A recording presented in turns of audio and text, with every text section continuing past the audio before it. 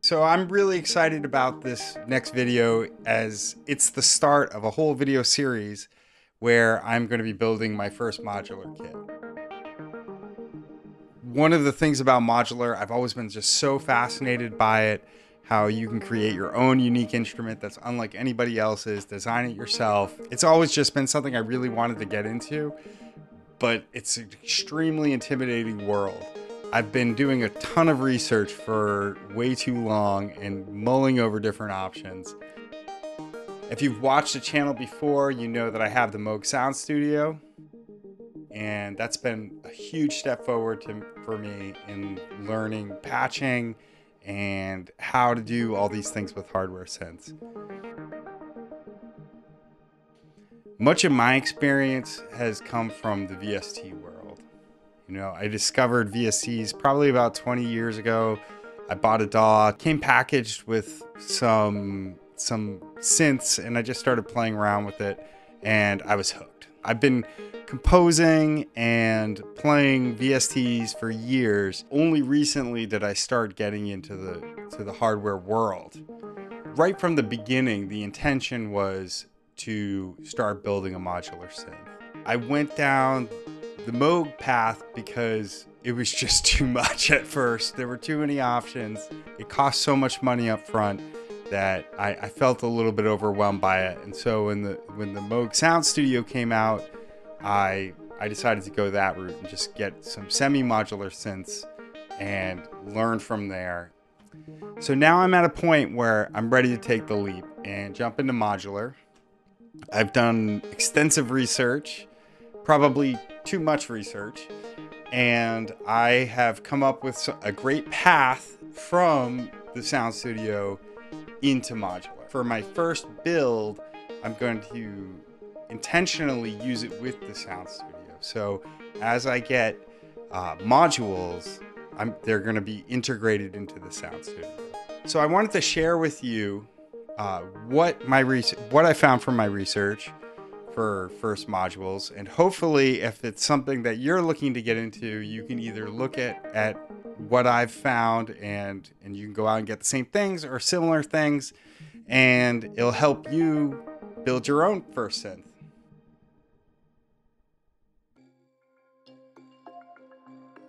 So, if you go on online forums or ask people who are into modular, what should I get started with? The first thing they're going to tell you is you got to plan it. And I can't even tell you how many times I heard that.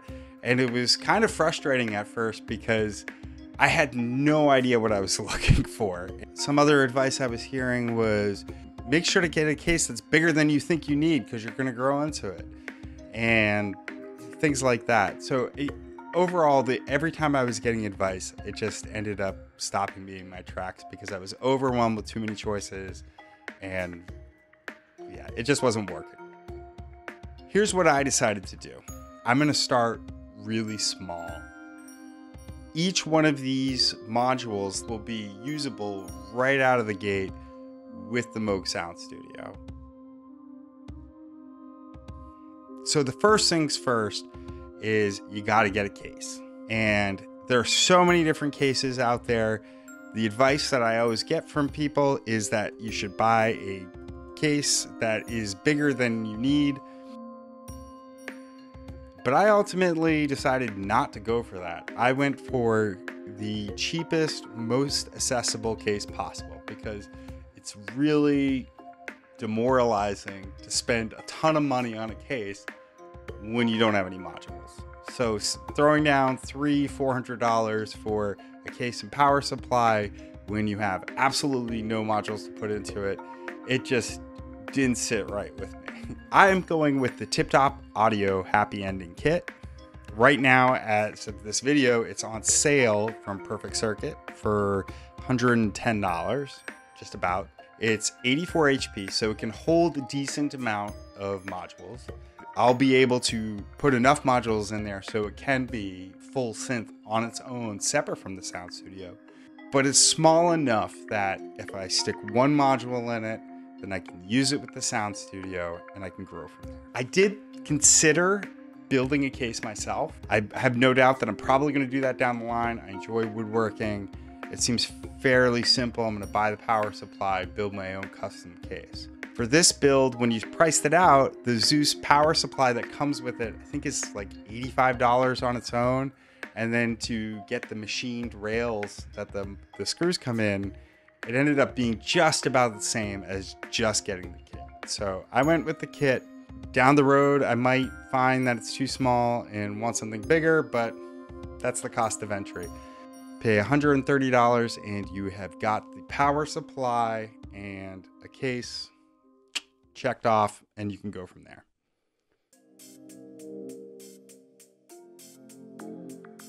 So let's take a look at the rest of my build. The first module I'm going to purchase and integrate into the Sound Studio is the Mutable Instruments Plaits. First of all, I really wanted a second oscillator. It's a digital oscillator, so it's going to sound very different than what's already in the sound studio. If you're just getting into modular, I think that mutable instruments, you're going to find it everywhere. They're kind of like the cream of the crop, um, and they're shutting down shop pretty soon. Um, so, in light of all of that, I decided that Plaits was where I was going to start. All of their designs are open source, and there's tons of clones out there that you can save a little bit of money. I decided that for my first purchase, I was going to go out and get a real mutable instruments oscillator just so I knew what I was what it felt like, what it sounded like. If I decide to go with different types of oscillators, Plaits has so much flexibility. It can create drum sounds and all kinds of other stuff. The next module is the Cumulus. This is by After Later Audio. It's a clone of the Mutable Instruments Clouds. It's a granular delay and reverb. Effects modules are also a really great way that you can build on the Sound Studio. I did a lot of asking around about the different types of clones out there, um, and after later audio just kept coming up and again and again and again. They seemed like a really great company, very small outfit, and they just released this newly designed line of mutable instruments clones. The Doepfer Dual ADSR. Now, Doepfer is another company that I really wanted to make sure that I gave a shot. They're the ones that introduced the whole Euro rack format and are kind of like an old school company that has been in this business for years. A lot of their modules have this cool utilitarian look to them. They're not flashy. And from what I hear, they just have great functionality in our classic Eurorack modules. So for something like an envelope where I wanted a simple ADSR envelope, that's where I went. On the mother, you know, you only have one ADSR.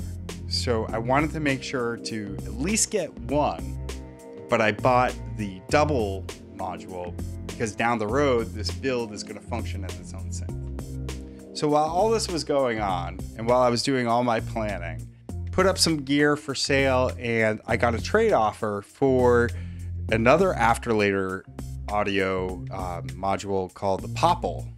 It wasn't one that I was initially looking at. I was going to try to get a variety of different brands of modules. And since I already had the Cumulus from After Later Audio, I was probably going to get a filter from someone else.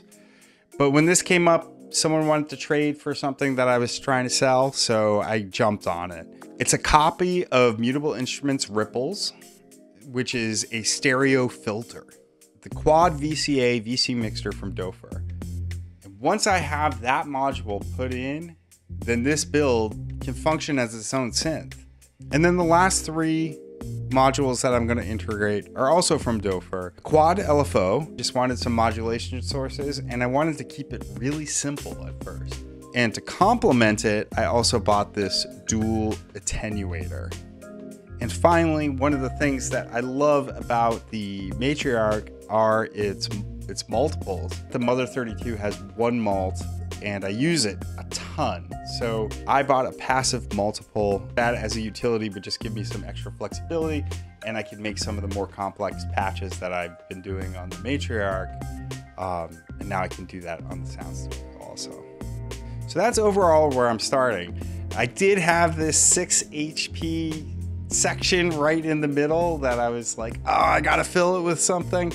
But I decided to leave that blank just at the start because this is a good first build that's going to give me a functional synth that's going to be usable and that I might record with. Um, it certainly integrates well with the Sound Studio. And from here, either I can buy a module to fit it. Who knows what's going to happen? But uh, but that's the starting place.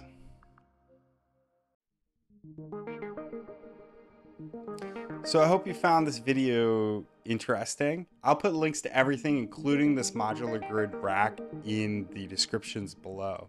If you've used any of these modules, I'd love to hear your experience with them.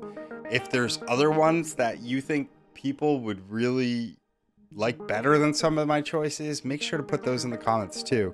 Thanks so much for watching this. I hope you got something out of it. Don't forget to subscribe below so you can get updates on how this build and future builds are going. And we'll see you next time.